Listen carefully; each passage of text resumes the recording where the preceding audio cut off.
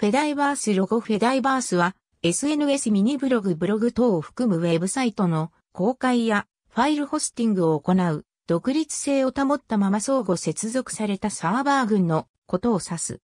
異なるサーバーそれぞれにおいてユーザーがアカウントを作成し、異なるサーバーに属するアカウント同士が各サーバー上のソフトウェアが実装するオープン標準の通信プロトコルを通して通信できることが特徴である。テキストなどを投稿したり他のアカウントによる投稿を購読することができる。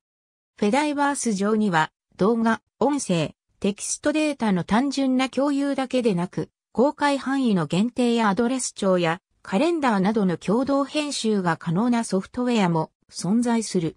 2008年、エヴァン・プロドロモーが SNS である遺伝地、サを設立し、そのベースとなるソフトウェアであるスタチュスネットをアグプルライセンスの下で公開した。遺伝地、サは後にオスタテスとなる通信プロトコルを実装したものの、遺伝地、災害のサーバーは、個人使用目的のものが少数存在する程度であった。しかし2011年から12年頃に遺伝地、サがソフトウェア実装をポンプ、イオに切り替える頃になると、スタチュスネットの後継フォークである GNU ソーシャルのサーバーがいくつか作られるようになった。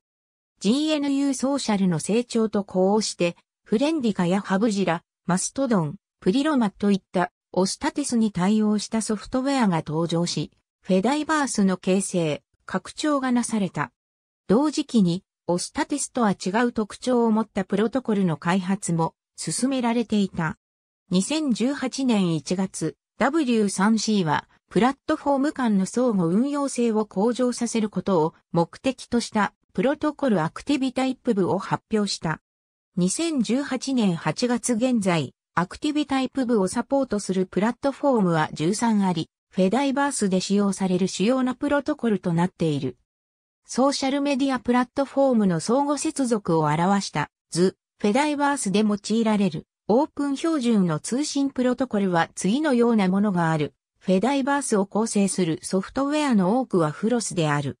ツイッターライクな実装が複数存在するものの、フレンディカやハブジラなど Google プラスや Facebook といったプラットフォームに近いコミュニケーション形態を提供するものも存在する。フェダイバースを構成するソフトウェアプラットフォームと対応プロトコルは次のようになっている。フェダイバース、ドットネットワークや・フェデレーション、インフォなど、フェダイバースに関する統計情報を公開している。モニタリングサイトは複数の開発者によって作成されている。これらのサイトの統計は、ノージンフォプロトコルによって公開される使用統計の値に依拠しており、正確な記録ではない。ノージンフォが無効であったり、非対応であるなどの原因で係数されないこともあれば、脳人法に対応するフェダイバース外のソフトウェアが含まれてしまうこともある。ありがとうございます。